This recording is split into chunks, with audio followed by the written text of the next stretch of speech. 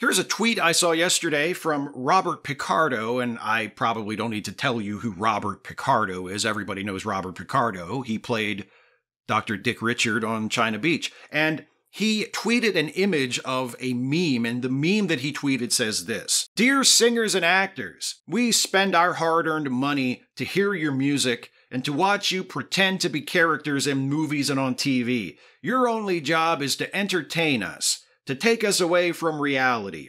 Your personal opinion means nothing to us. You are significant and influential only in your own mind and within the minds of your elitist peers. You are a marionette to us, nothing more. Sing, act, shut up. And here is Mr. Picardo star of China Beach's, measured response to that meme. Dear whomever wrote this, you do not deserve to be entertained. You have no humanity in your dark, angry soul. Every American enjoys the freedom to express themselves, regardless of their chosen career, and your obvious jealousy that others may value our opinions is not our concern. Number one, I completely agree and sympathize with what Robert Picardo, star of China Beach, has to say there.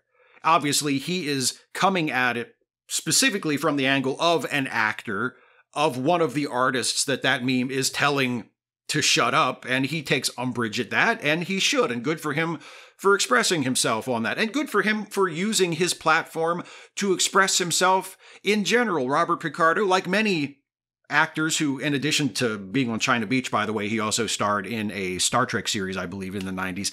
And because of that, he has a certain level of fame. He has a fan base and uh, a certain degree of notoriety, and he uses that to speak out on political issues and social issues occasionally. And he is a voice for tolerance and acceptance and equality and progressive politics. And as are a lot of other Star Trek actors and a lot of actors in general and a lot of um, singers and musicians in general. And good for him and good for anybody who uses their platform to speak out and speak their mind and try to make this country and the world lar- at large a, a better, more accepting, more enlightened place. Good for him. But what I find interesting about that meme, coming at it from a different perspective, because I am not a famous actor or singer or artist of any kind. What I find interesting about it is the absolutely bleak view of art that is indicated by that meme. I mean, think about what that meme writer is saying. Think about what they must believe to honestly write that, and, and what all of the people who agree with that and have expressed similar sentiments must believe about the nature of art and its proper place in our lives. He says, You're a marionette to us.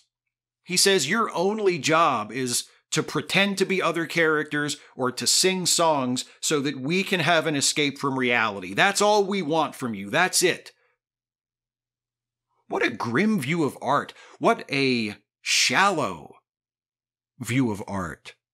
And now look, I'm not saying that there aren't times when I just want to escape.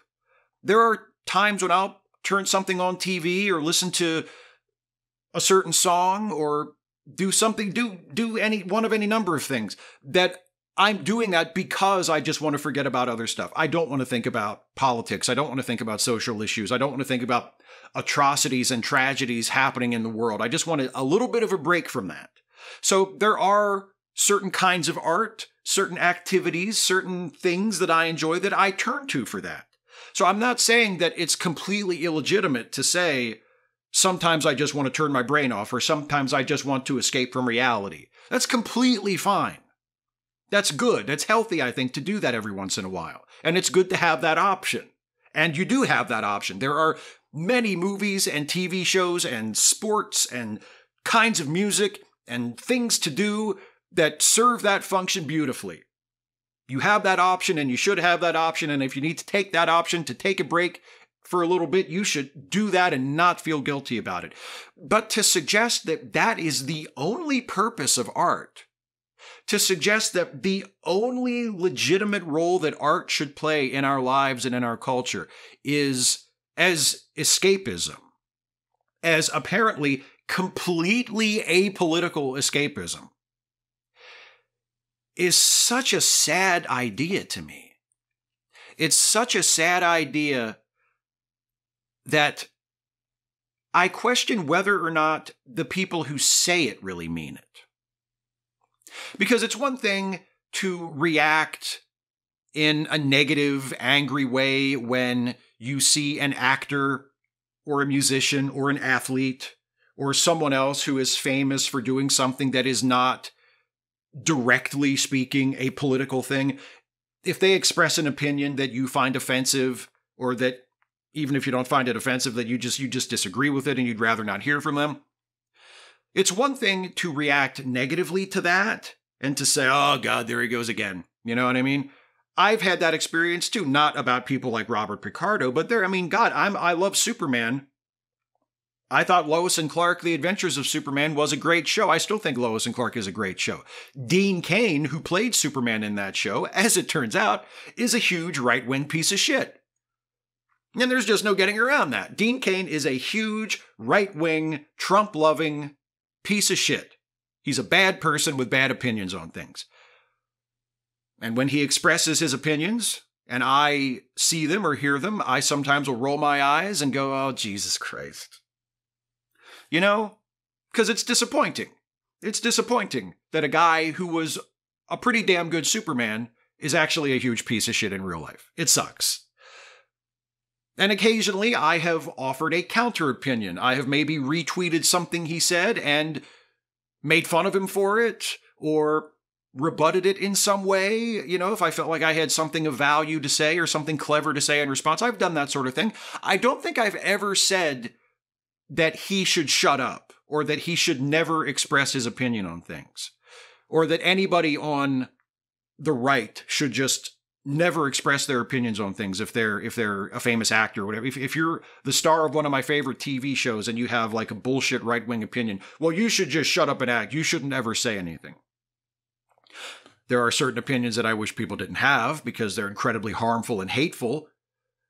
But it it's just it's never entered my mind to publicly call for actors or singers or whatever who have opinions I don't agree with to just silence themselves across the board because I feel like I'm entitled to watch Lois and Clark or you know the the uh, the legendary adventures of Hercules starring Kevin Sorbo or some other show or movie featuring uh, an actor who turned out to be a massive piece of shit in real life because it's it's harder for me to enjoy that if I know that they are speaking out about bullshit right wing opinions. So for my sake, and for the sake of my ability to enjoy the art that they have made, they should shut up. Like, that's just such a juvenile expectation. I've never said that or thought that or felt entitled to that.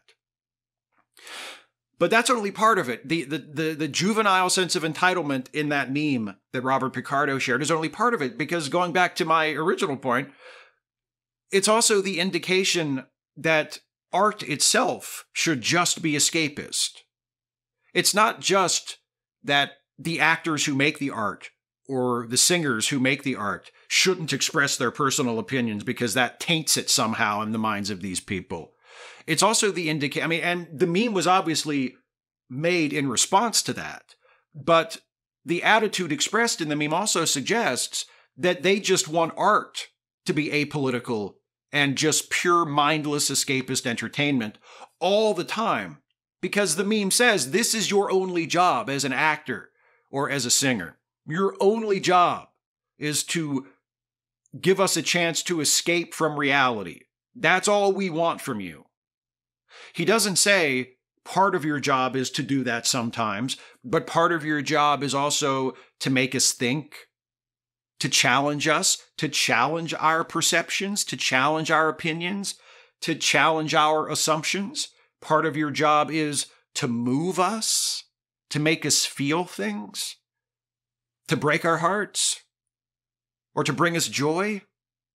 Part of your job is to introduce us to characters who are interesting people in their own right and who maybe remind us of ourselves or remind us of people in our lives whose stories, though fictional, we can connect with because we find commonality in them. None of that He doesn't leave any room, and I'm guessing it's a he. I'm just throwing it out there.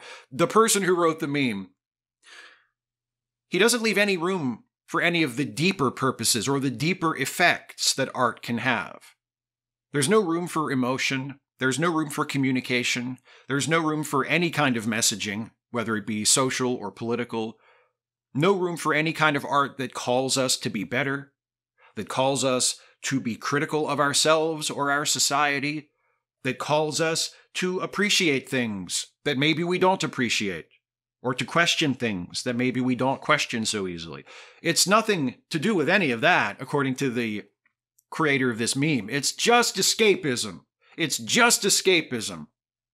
That's your only job. That's all we want from you. That's all we need from you. In fact, we demand you give us only that.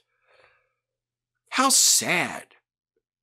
How sad that the only kind of art that you are saying that you will tolerate is just vapid escapism.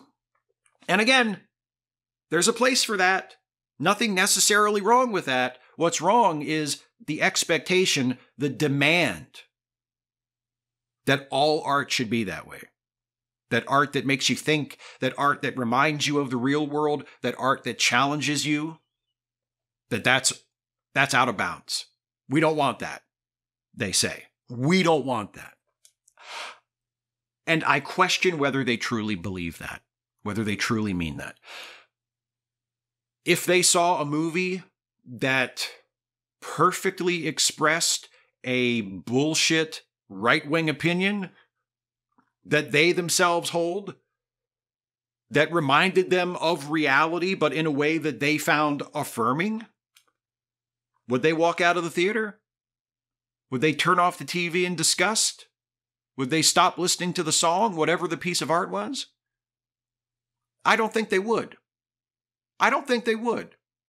And even if it wasn't an explicitly political sentiment, a lot of people on the right, a lot of conservative people, they have a, a very sort of traditionalist love of the military, especially the military in, in generations past. You telling me if one of those people saw Saving Private Ryan or some other feel good, patriotic, yay, America's military movie, that they would be offended by the fact that it's not pure escapism, that they would be offended by the fact that it made them think about things, that it made them feel things, that it forced them to confront a segment of reality.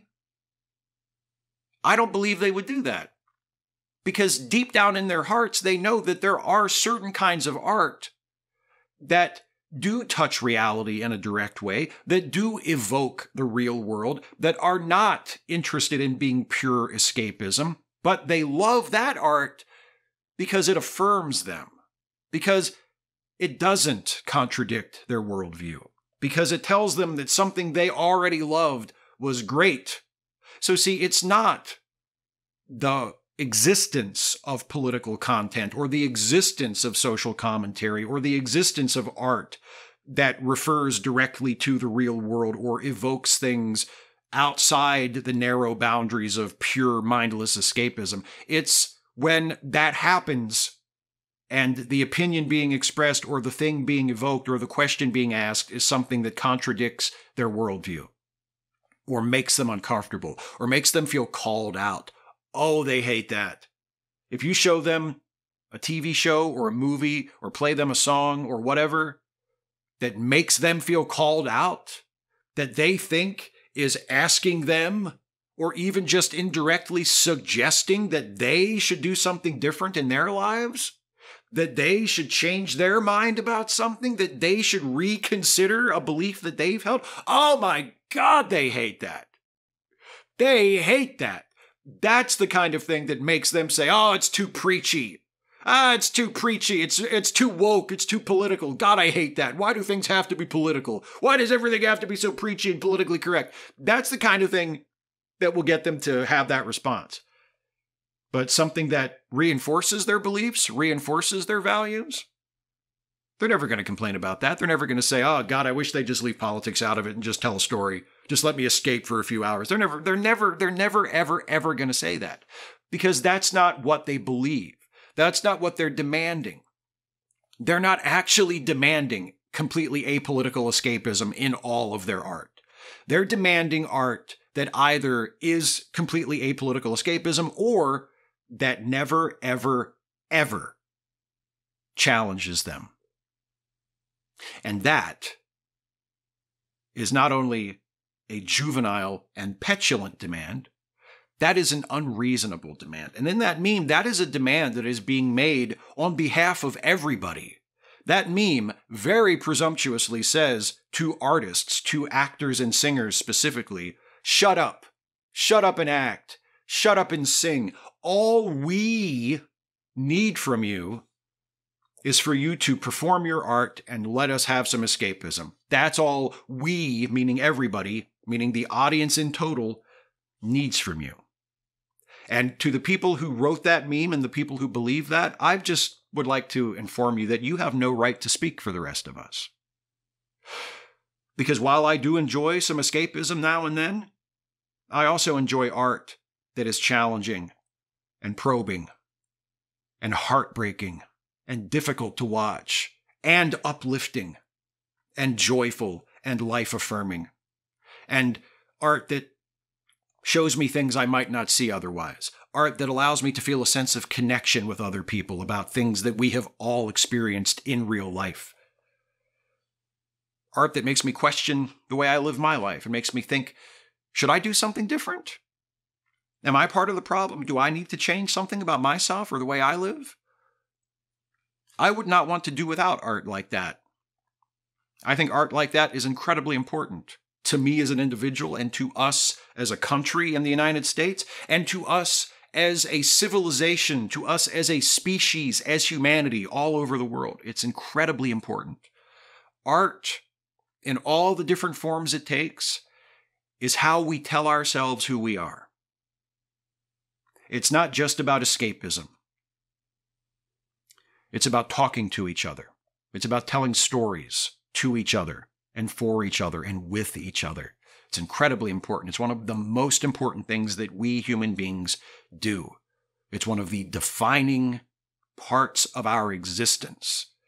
And to demand that we shrink that down and only do that in superficial, shallow, facile ways that won't challenge us, that won't remind us of the big, scary real world ever? I'm sorry. You don't get to make that demand on behalf of everybody else. And unlike you, the people who wrote that meme and the people who believe that, I'm not going to tell you to shut up, although I kind of wish you would. But I'm not going to tell you that. I'm not going to demand that of you because I have no right to demand that of you. I do feel like I have the right to make one small demand of you, however, and I'm going to make it right now. I'm not going to tell you to shut up, but I am going to tell you from now on speak for yourselves.